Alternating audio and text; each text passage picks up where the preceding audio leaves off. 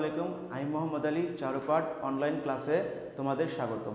আজ আমি প্রণয়ন সম্পর্কে তোমাদের সংক্ষেপে কিছু আলোচনা করব। ডেফিনেশন যে সকল প্রণয়ন যে সকল ওয়ার্ড কোনো নাউনের পরিবর্তে ব্যবহৃত হয়, তাকে প্রণয়ন বলে। প্রণয়ন প্রধানত আট প্রকার, কিন্তু আজ আমি তোমাদের প্রথম চার প্রকার সম্পর্কে সংক্ষেপে আলোচনা করব। প্রথম হচ্ছে, দেখো পার্সোনাল প্রোনাউন্স যে সকল প্রণয়ন কোনো ব্যক্তি বা বস্তুর পরিবর্তে ব্যবহৃত হয়, তাকে পার্সোনাল প্রোনাউন বলে। এক্সাম্পল হিসেবে, যেমন মাই নেম ইজ জাকির এই জাকির হচ্ছে একজন ব্যক্তি, আর ব্যক্তি, তাহলে মাই নেম ইজ জাকির তাহলে সে হচ্ছে কি, এই মাই শব্দটা কার মাই মাই কার নাম? জাকিরের নাম। সো এই মাইটা জাকিরের নামের পরিবর্তে ব্যবহার করা হলো। It is an interesting book এটি একটি ইট ইজ অ্যান ইন্টারেস্টিং এটি একটি মজাদার গল্পের বই। সো এখানে যে এই বুক বুকটা হচ্ছে একটা বই। সো এই বুকের পরিবর্তে কোন শব্দ ব্যবহার করা হয়েছে? ইট। ইট প্রমাণটা ব্যবহার করা হলো। সো সো তাহলে আমরা সহজে বুঝতে পারি যে এই জাগের জাগের সেই ব্যক্তি, ব্যক্তির পরিবর্তে মাই প্রমাণটা ব্যবহার করা হয়েছে এবং কি?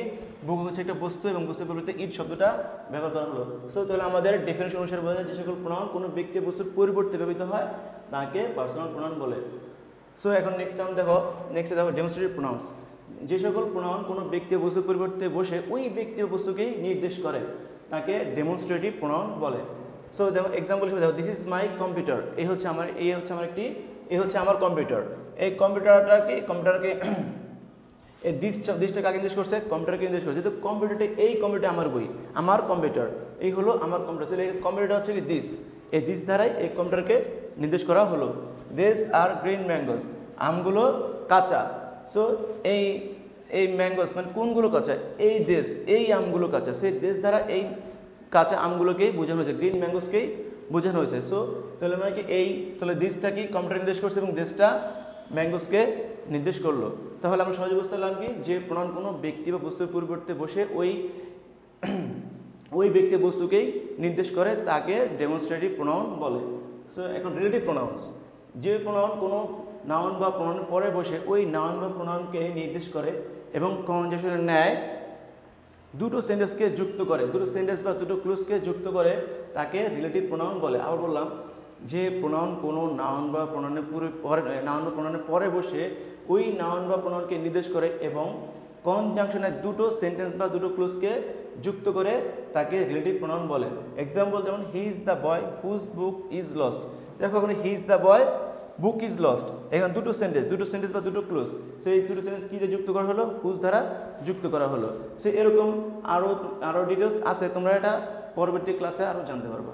সো এটা বুঝতে হলে এখানে বুঝতে হচ্ছে কি রিলেটিভ প্রণাম এখন ইন্টিগ্রেটিভ প্রণাম যে সকল প্রণাম কোনো ব্যক্তি বা বস্তুকে উদ্দেশ্য করে প্রশ্ন জিজ্ঞাসা করতে উক্ত নাউনের পরিবর্তে ব্যবহৃত হয়, তাকে ইন্টিগ্রেটিভ প্রণাম বলে। আর বলি, যে সকল প্রণাম কোনো ব্যক্তি বা বস্তুকে উদ্দেশ্য করে প্রশ্ন জিজ্ঞাসা করতে উক্ত নাউনের পরিবর্তে ব্যবহৃত হয়, তাকে ইন্টারোগেটিভ প্রোনাউন বলে। যেমন who is our national poet আমাদের কে আমাদের জাতীয় কবি? যখন আমরা আনসার দেবো, তখন কি আসবে? কাজী ইসলাম আমাদের জাতীয় কবি। সো এখানে Kazi Islam is our national poet Kazi Islam is our national poet তাহলে এখানে বোঝা গেল যে হুটা কার পরিবর্তে ব্যবহৃত হয়েছে? যেহেতু অবশ্যই কাজী ইসলাম এর পরিবর্তে ব্যবহার করা হয়েছে। আবার হুইচ ইজ ইউর বুক কোন বইটি তোমার? যেটা এক- একটা নিশ্চয়ই কোনো একটা বই। যেটা হচ্ছে বস্তু, সেই বস্তুর পরিবর্তেই এই হুইচ শব্দটা ব্যবহার করা হলো। তাহলে আমরা সহজে বুঝতে পারলাম যে হু হচ্ছে ব্যক্তিবাচক ব্যক্তিবাচক ব্যক্তিবাচক ইন্টারভিউ প্রণয়ের ক্ষেত্রে ব্যবহার করা হয় এবং কি হুইচ হচ্ছে কি বস্তুবাচক রিলেটিভ ইন্টারভিউ প্রণয়ের ক্ষেত্রে ব্যবহার করা হয়। এরকম কি হু, হুজ, হুম এগুলো হচ্ছে ব্যক্তিবাচক প্রণয়ের ক্ষেত্রে ইন্টিগ্রেটিভ প্রণয় হিসেবে ব্যবহার করা হয় এবং কি হুইচ, হোয়াট বস্তুবাচক ইন্টিগ্রেটিভ প্রণয়ের ক্ষেত্রে ব্যবহার করা হয়। আমি আবার বললাম হু, হুজ, হুম ব্যক্তিবাচক প্রণয়ের ক্ষেত্রে ব্যবহার করা হয় এবং হুইচ হোয়াট বস্তুবাচক ইন্টিগ্রেটিভ প্রণয়ের ক্ষেত্রে ব্যবহার করা হয়। তাহলে আমরা সহজেই এই প্রণয়নের চারটা সম্পর্কে সংক্ষেপ কিছু জানতে পারলাম। আমার ভিডিওটা ভালো লাগলে অবশ্যই লাইক শেয়ার এবং কমেন্ট করে জানাবেন এবং- এবং ইনশাল্লাহ পরবর্তী ভিডিওতে আমার বাকি বাকি চারটা সম্পর্কে জানব। ধন্যবাদ। আসসালামু আলাইকুম।